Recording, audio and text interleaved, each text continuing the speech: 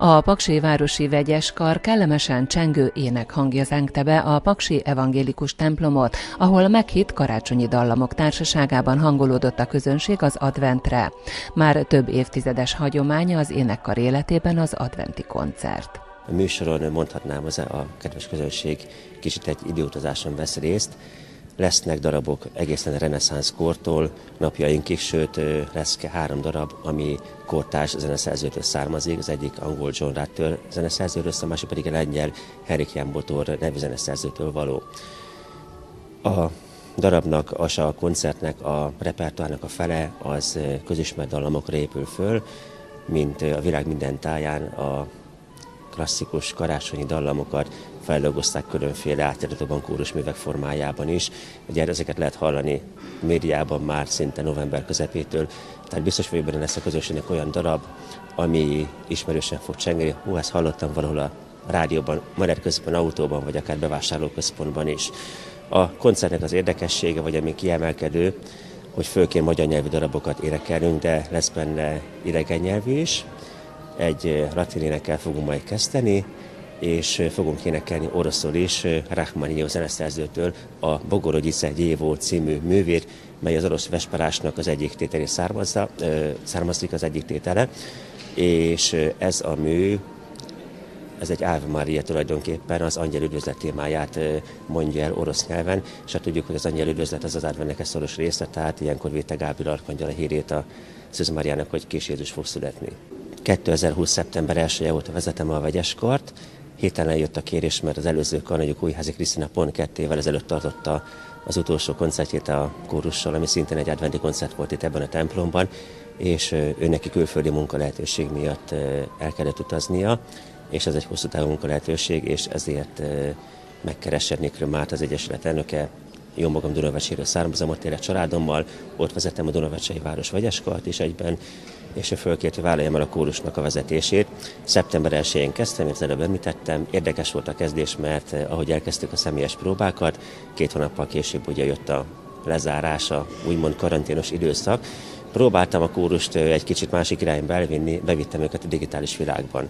Megtartottuk hétfő esti próbaidőpontokat, online tartottuk különböző kommunikációs alkalmazásokon keresztül a próbát. Ugye hát ezek a próbák nem voltak olyan aktívak, mint a személyes próba, itt főleg a a szólamok tanulására ment rá a hangsúly.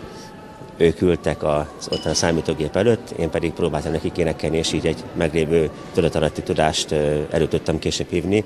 Mondhatni, hogy a nyári filmzenés koncertünkre, amit tavaly nyáron tartottunk, a felkészülés 70%-a így történt, és előtte másfél hónappal személyesen tudtuk összerakni a darabokat.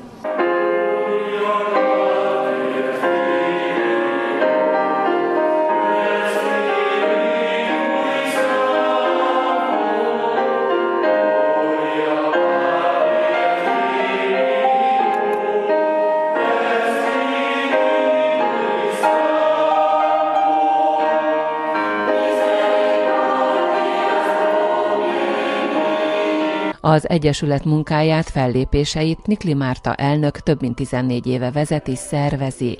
Az utóbbi néhány évben fontos céljuknak tűzték ki a kórus megújítását és fiatalítását. Jelen vannak több városi rendezvényen is.